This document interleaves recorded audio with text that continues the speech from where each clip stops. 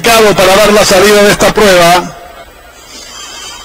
En la cuarta carrera, la largada mala por Gianfranco, viene Sebastián Zeta, toma rápidamente el primer lugar. Breaker Avenue va al segundo y el adivino por dentro va al tercero, en el cuarto lugar corre regresivo, luego de Fuego y se quedó Gianfranco a unos ocho cuerpos en el último lugar. La pelea con el adivino por fuera y el caballo Sebastián Zeta por la parte interior, los dos van cabeza a cabeza, domina ligeramente Sebastián Zeta, el adivino no rehuye, vuelve a la pelea.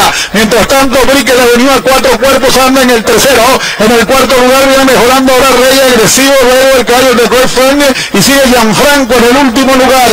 Ahora el adivino por fuera se viene contra Sebastián Rey agresivo pasa el tercero y se acerca cuando viene a la última curva, entran en la recta final, hay pelea entre el adivino y Sebastián Zeta, tiende Sebastián Zeta a dominar la carrera, el adivino corre en el segundo, viene mejorando ahora por la parte interior de la cancha el caballo de Frank para el tercero y el caballo Rey agresivo lo hace por fuera. Sebastián Zeta está dominando la carrera. Rey agresivo y de Grey frena la pelea. De Grey Frank por la parte exterior contra Sebastián Zeta. De Grey Frank, Sebastián Zeta en gran final. Domina Sebastián Zeta en la raya por fuera. Por fuera lo liquidó el 5 de Grey Frank.